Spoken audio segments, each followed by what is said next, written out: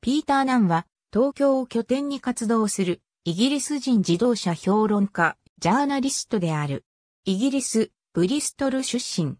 同国の出版社、ヘイマーケットに8年間勤務し、自動車雑誌の編集などに携わった後、1988年5月、日本に移住した。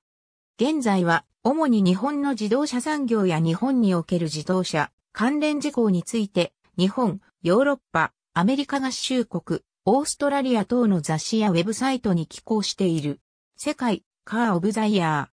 ー。及び、インターナショナル・エンジン・オブ・ザ・イヤーという二つの世界的な自動車賞受賞のための投票権を持っており、また、過去には、日本カー・オブ・ザ・イヤーの選考委員を務めたこともある。自動車、ドライブ、旅行、食べ歩きが趣味であるという。